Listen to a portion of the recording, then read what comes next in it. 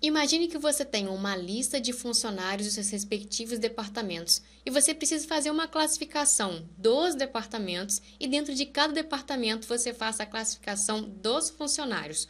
Como fazer isso no Excel? Então vamos lá. Eu tenho aqui a minha planilha com os departamentos em si e o nome dos funcionários. Eu vou fazer uma classificação que a gente chama por nível.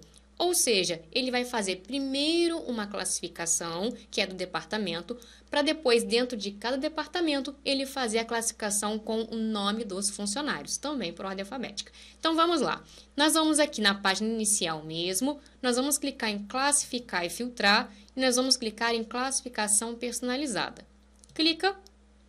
Aqui dentro nós vamos especificar os níveis. Então eu vou clicar em classificar por Vou colocar primeiro o departamento, vamos manter aqui como valor das células e a ordem de A a Z.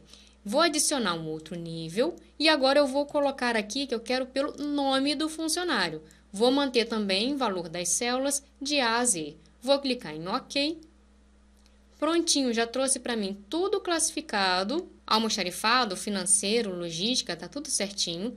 E aqui do lado, se vocês observarem, o nome dos funcionários também está por ordem alfabética, conforme o departamento onde está.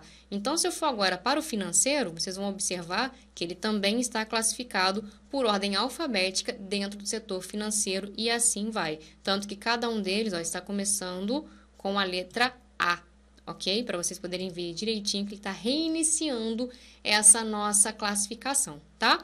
Se eu quiser ir adicionando mais classificações, é só eu clicar lá em classificar e filtrar, classificação personalizada, e aí eu venho aqui para adicionar um nível. Só tome cuidado com o seguinte, quando a gente está com um nível selecionado, igual aqui está o primeiro selecionado, se eu adicionar um nível, ele vai adicionar logo abaixo tá? E aí, se vocês quiserem reorganizar, basta clicar nessas setinhas para jogar para cima ou para jogar para baixo. E ele vai reorganizando para vocês de acordo com o que vocês precisarem, ok?